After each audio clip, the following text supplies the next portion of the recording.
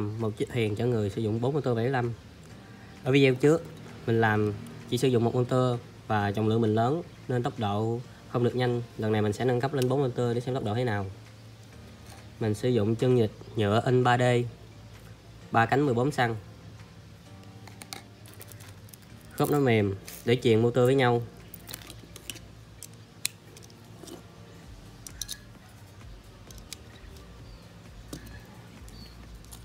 Điều tóc.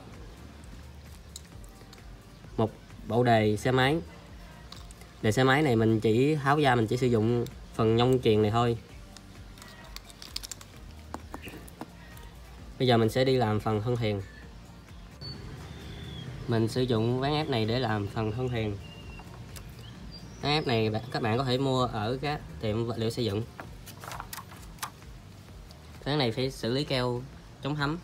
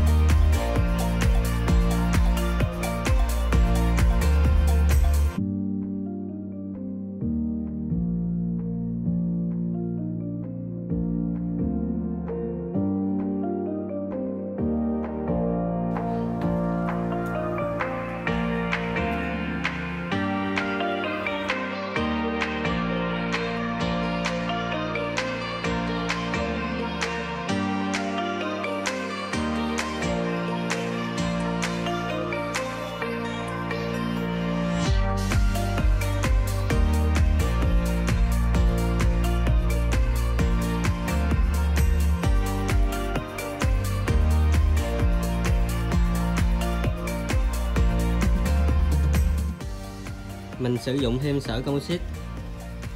Để gia cố. Sợi này dán vào rất chắc chắn nhưng vẫn giữ độ nhẹ. Đặc biệt cái nó rẻ. Chiếc này mình sẽ làm cho nó nhẹ hết sức có thể để chạy được tốc độ với motor 75 chiếc này dài 2m8 ngang của nó là 80 cm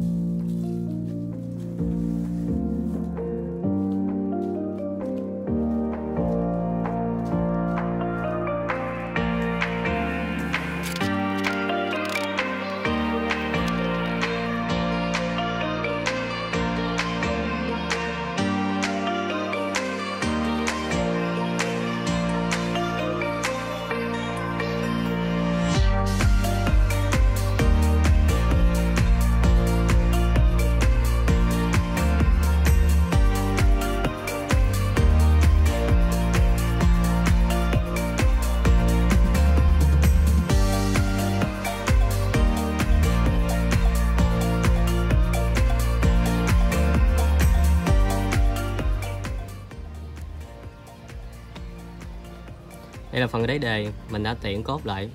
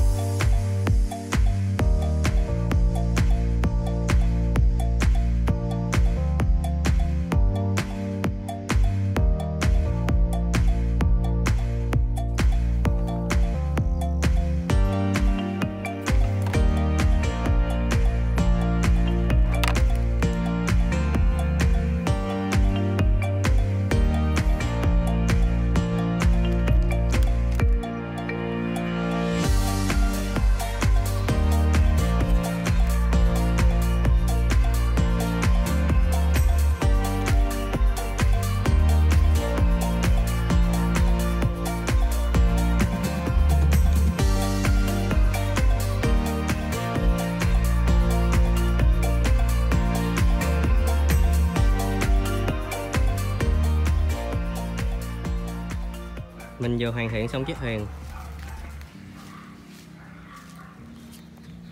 Bốn motor 75 mình có gắn thêm một bơm nước. Để nước có vào ghe thì bơm ra. Nếu vào nhiều quá thì chỉ có tát chứ bơm không kịp.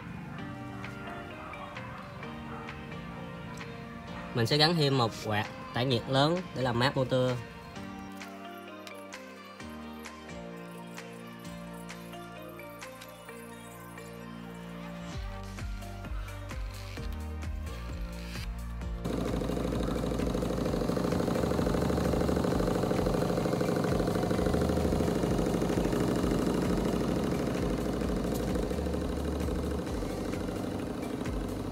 Chiếc này mình cũng chỉ là thử nghiệm.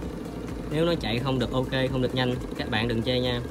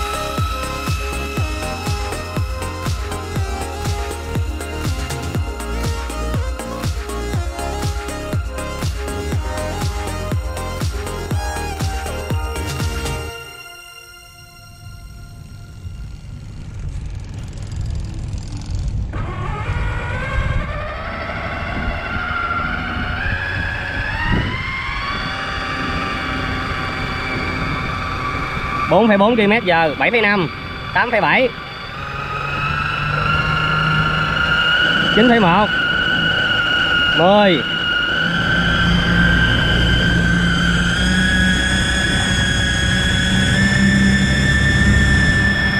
12 km giờ.